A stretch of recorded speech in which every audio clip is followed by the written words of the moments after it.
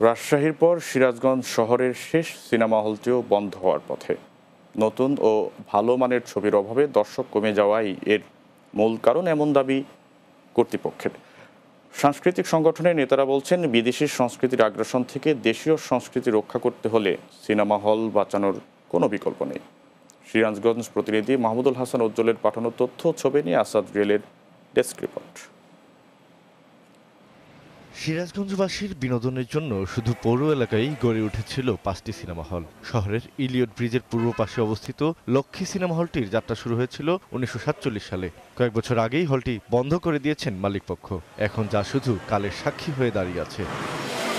এই সিনেমা হলের কর্মচারী ছিলেন শঙ্কর চন্দ্র শীল। বয়স চুরাশি বছর। শেষ বয়সে বেকার হয়ে মানবতর জীবনযাপন করছেন তিনি। হারানো স্মৃতি খুঁজতে এখনও ফিরে আসেন পুরনো কর্মস্থলে।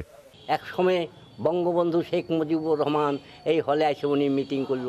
আমি নিজে হাতে উনিকে পানি খাওয়াইলাম। এখন কি করব। অন্য কোনো কাজ করার বয়সও নাই।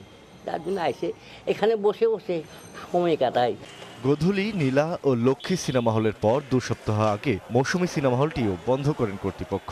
এখন শুধু চালু আছে দেড়শো বছরের পুরনো মমতাজ সিনেমা হলটি। ব্যবসায় মন্দার কারণে এটিও বন্ধের পথে।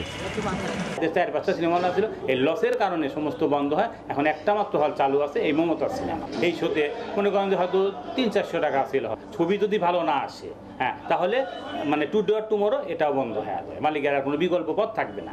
একসময় সিরাজগঞ্জ জেলায় মোট পাঁচটি সিনেমা হল ছিল মমতাজ সিনেমা হল কর্তৃপক্ষের। মানসম্পন্ন নতুন ছবির অভাবেই হল বন্ধ করতে হচ্ছে বলে জানান তারা। পণ্য নাই যার জন্য আমাদের ব্যবসা নাই। ভালো ছবি হলে কিন্তু ব্যবসা হয়।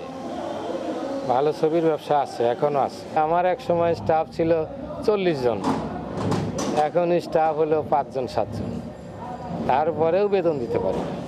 হল টিকিয়ে রাখতে ভালো মানের ছবি তৈরির পাশাপাশি হলের পরিবেশ বদলানো প্রয়োজন বলে মনে করেন সাংস্কৃতিক ব্যক্তিত্বরা। এই চলচ্চিত্র শিল্পকে টিকিয়ে রাখতে হলে আমি মনে করি ভালো মানের ছবি দরকার এবং পাশাপাশি হলের মানও বৃদ্ধি করা দরকার।